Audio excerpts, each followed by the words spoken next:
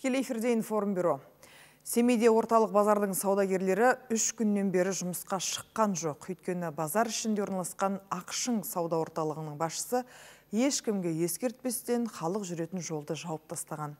Соның кесірінен табысымыздан айырылдық деген көпшілік үш күннен бері саудамыз мардымды жүрмей тұр деп ашулы. Елу шақты саудагердің бұл мәселесі тіпті облыс әкімдігіне дейін жеткен.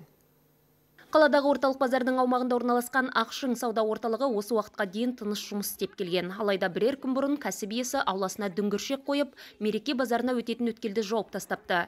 Бұл көрші отырған саудагерлердің ашуын тудырған. Айтуларынша, аялдамадан түскен халықтың базар аралауға кіретін ең қысқа жолы бөгелгелі саудамыз жүрмей қалды дейді біздің тек қана сұрайтынымыз өмір бойы мынау ашылып тұрған жол болатын біздің қақпамыз.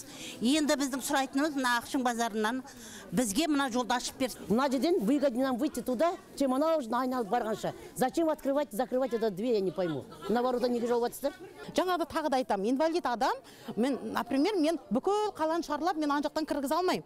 Өйткені мен мынарадан кірген маған тез. Бірақ Ақшың сауда орталығының әкімшілігі жолды жауып, қалаған дүниемізді қоюға толық қақымыз бар дейді. Себебі жер телімін 2040 жылға дейін жалға алдық деп бейқам отыр. Тіпті қолдарында тиісті құжаттары да бар екенін алға тартты.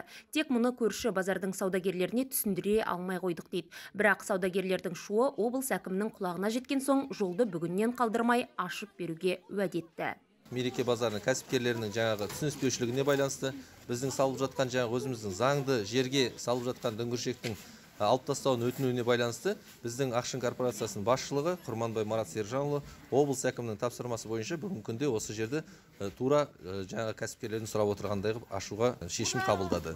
Енді жақын күндері саудагерлерге кедергі келтіріп тұрған дүңгіршектерді алып тастамақ. Бірақ ақшың сауда орталығының әкімшілігі уақытша ғана ымыраға келгенін айтады.